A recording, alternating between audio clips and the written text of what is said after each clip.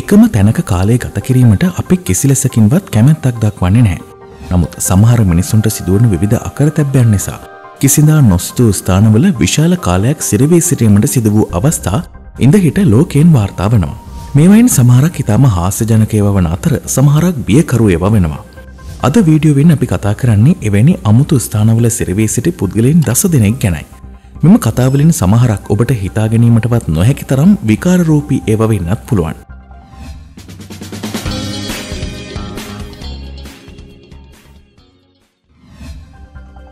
අංක දහය කොමඩ් එකට ඇලුණු කාන්තාව මේ ඔබ අසා ඇති පිස්සුම කතාවලින් එකක් වනවට කිසිම සැකයක් නැහැ.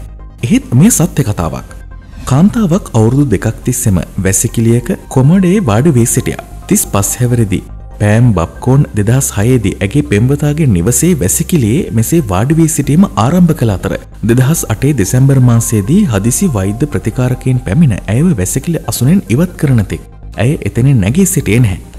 ඒට හොඳම සාක්ෂය වූ ඇගේ පෙම්වතා වන තිස් හත් හැවරදි කොරේ මැක්ෆෙරින් පැවසුවේ ඇයි මුළු අවුරුදු දෙකපුරාවටම එසේ නොකළ බවයි. ඇයට නැගිට යන්නට අවශ්‍ය නැති බව තරයම කියා සිටිවිට ඔහු ඇයට දිනපතා ආහාර සහ ජලය ගෙනාවක්. නමුත් පසුව ඇයට නරක ලෙස සැලකීම සම්බන්ධයෙන් ඕට චෝදනා පවා එල්ල වුණා. නඩුව විභාග කළ නෙස්කවන්ටි ශෙරිෆ් බ්‍රයන් විපල් පැවසුවේ ඇය කොමඩයට ඇලී නොසිටි බවත් ඇයි විසින්ම සිතා හිඳගෙන සිටි බවත්. එය කිසිසේත් සිතාගත නොහැකි තරම් අමුතු සිතුවිල්ල. කෙසේ වෙතත් මෙම පුදුභාකාර හිඳගෙන සිටීම බෙඩ්සෝස් හෙවත් ඇඳවන ලෙස හැඳින්වෙන වනවීම් තත්ත්වයක් ඇගේ සම මත වර්ධනය වී ඇත. පුද්ගලයෙකු එක් ස්ථානයක සිට ඉතා දිගුකාලයක් චලනය නොවන විට ඒ සිදුවන බවයි පැවසෙන්නේ. ඇගේ සම වැසකිලි ආසනය වටා නැවත වර්ධනයවීමට පටන් ගෙන තිබුණා. ඇය වැසකිලි ආසනය සමඟ ඇලේ සිටියාසේ පෙනුනේ ඒ ආකාරයටයි. ඇයව රෝහලට ගෙනගේ විට වෛද්‍යවරුන් කියා සිටියේ ඇය වැසිකිලියේ වාඩිවී සිටින කාලය අධික නිසා ඇය නැවත කිසි දිනක දෙපයින් ඇවිදින්නේ නැති බවයි. දෙදහස් අටේදි වාර්තා වූ ආකාරයට ඇය තවමත් රෝධපුටුවක ජීවිතය ගෙවනවා. අංක නමය සිමෙන්ති මිශ්‍රණයේ සිර වූ මිනිසා.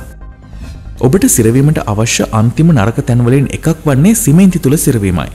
අවාසනාවකට ඉතාම අවාසනාවන්ත පුද්ගලයන් කිහිප දෙනකුටම මෙම අකර තැබ්බේ සිදු වී තිබෙනවා. එක්සත් ජනපදයේ සැන් ෆ්‍රන්සිස්කෝ බොක්ක ආශ්‍රිත ප්‍රදේශයේ බීමතින් සිමෙන්ති මික්ස එකක් තුළ නිදාගෙන සිටි අයෙක් මෙසේ අනතුරට මුහුණ පෑ අතර අවසානයේ ගිනිනිවන බටයන් කණ්ඩායමක් විසින් බේරා ගනු ලැබවා. මෙම සිදුවීම සිදුවී තිබුණේ දෙදහස් දහටේ ජූලි මාසේදී. සිමෙන්ති වියලීම සඳහා තිබූ ස්ථානයක ඉනදක්වා ගිලේ සිටනු ලැබූ ඔහු බීමත්ව සිටියදී මික්ස එක තුළට බඩගාගෙන පැමිණ ඇති බවටයි සැක කෙරෙන්නේ. එවර ඔහු බේරා ගැනීම සාර්ථක වූ නමුත් වසරකට පෙර ඩොමිනිකන් ජනරජයේදී එවැනිම වැරැද්දක් නිසා කෙනෙකු අභාවප්‍රාප්ත වූ බව වාර්තාවනවා. අංක අට පැනයාමට හැරූ බිත්තියේ සිර වූ අපරාධකරු. බ්‍රසීලයානු සිරකරුවෙකු වන රෆායිල් වැලරියෝ සිය සිරමැදිරයේ බිත්තියක සිදුරක් හාරා පැනයාමට උත්සාහ කරමින් සිටියා. ඔහු සහ හෝගේ සගයා ශව පොල්ලකින් සිදුර සාදා ඇති බව වාර්තාවනම්. මෙසේ පැනයන පාර සකසාගත් නමුත් වැලරියෝගේ දැවන්ත බඩ නිසා ඉතා අවාසනාවන්ත ලෙස මෙම සිදුරේ සිරවීමට ඔහුට සිදුවුණා. ආරංචිවලට අනුව ඔහු පත්වඇති තත්වය දුටවිට බන්ධනාගාර නියාමකෙන්ට සිනහව නවතා ගැනීමට නොහැකි වුණා. කෙසේ වෙතත් ඒදීගත් ඡායාරූපවලින් පෙනුනේ සිරකරුවා දැඩි වේදනාවෙන් සිටින බවයි. ගිනිනිවන දෙපාර්තමේන්තුව පැමිණ ඔහුව ඉවත් කිරීම සඳහා සිදුර පුළුල් කළ අතර පසුව අස්ති බිඳුණු ඉලෑටයක්ද සහිතව ඔහු නැවතත් අත්තඩංගොට ගනු ලැබවා. අංක හත පොල්තෙල්වල සිරවුණු කාන්තාව.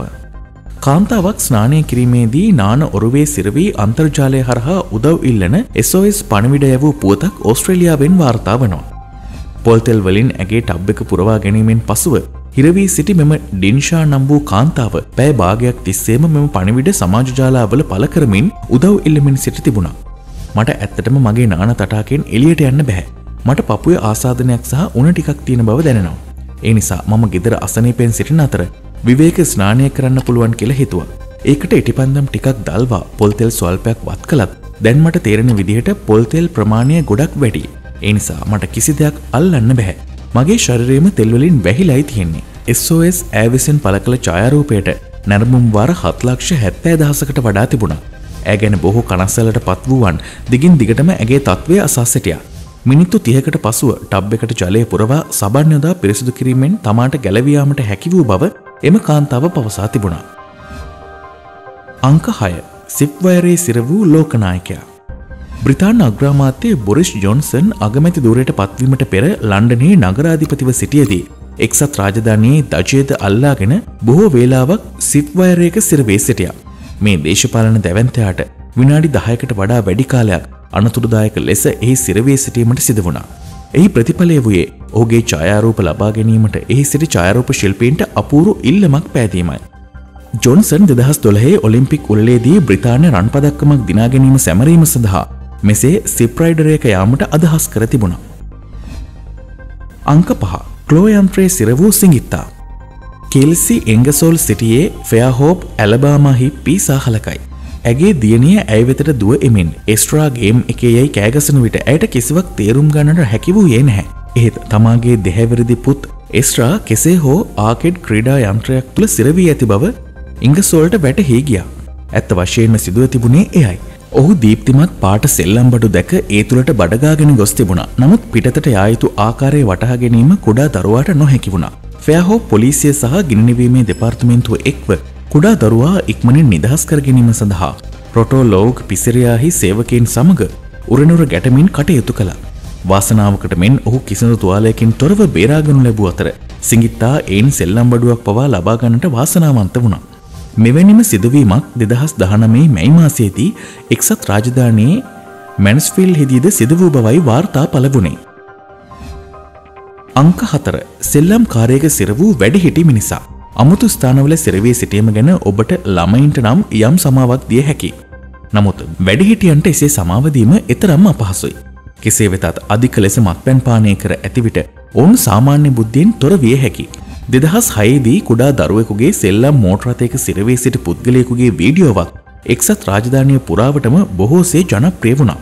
එය YouTube සහ ජාතික ප්‍රෘති වෙබ් අඩවිවල කාගෙත් ඇහැරැන්දූ පුවතක්. ජෝජිනා තොන්ස්ටන් විසින් YouTube වෙත බීමත් යෝක් නමින් වීඩියෝවක් පල කළ අතර හිදැක්වුණේ වැඩිහිටි මිනිසෙක් සෙල්ලම් මෝටරතයක සිරවී සිටිය ආකාරයයි. රතු සහ කහපැහැති ළමා මෝටරතයක සිරවී බිම වෙතිර සිටින මිනිසා බේරාගන්න අයුරු එම වීඩියෝවේ දැක්වෙන්නේ නැති නිසා ඔහු එතැන නිදහස් වුණේ කෙසේද යන්න අප දන්නේ නැහැ. සමහරවිට බෙල්ල වටේ සෙල්ලම් කාරය රඳවාගෙන ඒ නිසා තවමත් එක්සත් රාජධානයේ ජීවත් වෙනවා වෙන්නට පුළුවන්. කවුරුහරි ඔහුව දැකතිබෙනවාද. අංක තුන චිමිනියේ හිර වූ කාන්තාව. නත්තල්සියා විසින් නිවසේ දුම්කවුලුව දොරටුවක් ලෙස පාවිච්චි කරන්නේ ඔහු මැජික් දන්නා නිසයි. එහෙත් අනෙක් අය ඒ කිරීමට තරම් වාසනාවන්ත වී නැහැ. දෙදහස් දාහතරේ ඔක්තෝම්බර් මාසයේදී කාන්තාවක් චිමිනිය තුළින් ලිස්සා ගොස් පිරිමියෙකුගේ නිවසට ඇතුළවීමට උත්සාහ කළා. කැලිෆෝනියාවේ තවසන් ඔක්සි පිහිටි සිය ආදරවන්තයාගේ නිවසට කඩාවැදීමට තිරණය කළ ඇගේ අභිප්‍රායන් මොනවාදය කියන්නට නම් කිසිවෙකු දන්නේ නැහැ. නමුත් මෙම සිරවීම ඔවුන්ගේ ආදරයට අවසානයක් ගෙන දුන් බවයි වාර්තා වන්නේ. පැය දෙකට පසුව සබන් යොදා ලිහිසි කළ ඇගේ සිරුර කුළුගෙඩි භාවිතය නිදහස් කළ අතර නීතිවිරෝධී ලෙස නිවසකට ඇතුළු වූ බවට මෙම කාන්තාවට චෝදනා එල්ල වුණා. අංක දෙක යෝධ ගල්ගුහාවේ සිර වූ මිනිසා. අමරිකානු සිසුවෙක් ජර්මණයේ ටුබින්ගන් විශ්වවිද්‍යාලයේ වෝවාගේ මූර්තියක් තුළ රිංගා සැරසේ සැටියේ විසුළු ආකාරයේ ඡායරූපයක් ගැනීමටයි. නමුත් ඒ වෙනුවට ඔහු ඒ තුළ සිරවුණා. ගිනිනිවන බටයින් විසි දෙදෙනෙකුගෙන් යුත් කණ්ඩෑමකට ඔහුව බේරාගැනීමට සිදුවූ අතර නරඹන්නෙකු විසින් සිද්ධිය ඡායාරූපගත කරගෙන බොහෝ දෙනාගේ විනෝදය සඳහා අන්තර්ජාලය තුළ බෙදා හැර තිබුණා. සිර වූ තැනැත්තාට අවශ්‍ය වූයේ විහිළු පින්තූරයක් ගැනීමටුවත් ගිනිනිවන දෙපාර්තමේන්තුවට එය සැබවින්ම විනෝදයක් වූයේ නැහැ. අංක එක අසූචි සමග ජනේලේ සිර වූ කාන්තාව. දැන් ඔබට කියන්නට යන්නේ මෙම ලයිස්තුවේ හාස්‍ය ජනකම කතාවයි. එය අපගේ කාලේ අපූරු කතාවලින් එකක්.